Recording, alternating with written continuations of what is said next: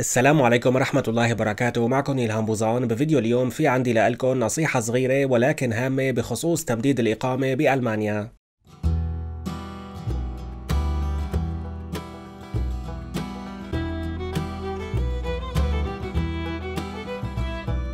سابقا كان يصل للشخص بوست يتضمن موعد محدد باليوم والساعة مع دائرة الأجانب من أجل تمديد الإقامة ولكن حاليا لم يعد يصل للغالبية بريد بهذا الخصوص فيحاول البعض بأخذ موعد قبل أسبوع أو أسبوعين. وهنا تكون المفاجأة وخاصة بالمدن الكبرى بعدم توفر مواعيد متاحة إلا لبعد ثلاثة أو أربعة شهور. فنصيحتي لكم بأخذ موعد قبل انتهاء مدة إقامتكم بعدة شهور حتى لا تضطروا للانتظار طويلا. يعني طلع على إقامتك ضليان فيها مثلا شهرين أو ثلاثة فاحجز موعد فورا حتى ما تضل لاحقا فترة طويلة بلا إقامة. وبالنسبة لحجز الموعد فهو سهل وبسيط جدا إما يكون غالبا أونلاين أو عن طريق الإيميل أو الاتصال مباشرة بمكتب الأجانب. هذا كان كل شيء لفيديو اليوم. كان معكم نيلهام بوزان. تبقوا دائما بخير وصحة وسلامة. تحياتي لكم جميعا. وشكرا لكرم المتابعة. وإلى اللقاء في فيديو قادم.